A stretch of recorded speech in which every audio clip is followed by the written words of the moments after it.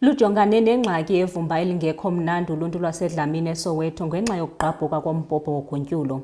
Abahlali bale ndawo bathi kudala le mibhobho ivuza ilindle kwindlu kwindawo esekufutshane nezindlu zabo kwaye ngoku babongoza urhulumente ukuba bancedise kulo mcimbi. Zibekezela kunzima izakhamuzi zasendaweni yasedlamini esoweto ngenxa-ke yokuqhuma koxhaxha lwezitamkonko ezigcina sezichitha indle emgwaqeni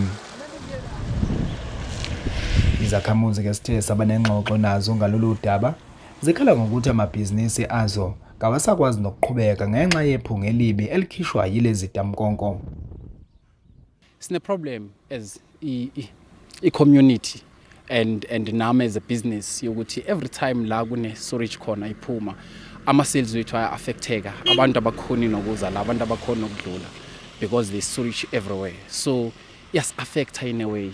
Um because of ama-health hazard. Maye besicela ukuthi abaphathi mabasilungisele lento le. Ngokuthi ihluphile iminyaka nonyaka ihlala iyenzakala ngonyaka ayenzakali kayi-one.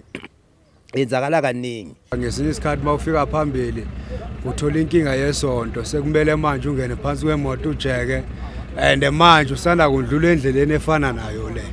Ekuyindlela nje yabona undlula kwenye into ongeke ungene nawe ubhekile nanoma uhamba ngenyawo ukuthi hayi lana sengena kwenye indawo ikhawashi yethu khona manje ayisasebenzi. Yonke into esejaridini imile. So azikho imoto ezingenayo.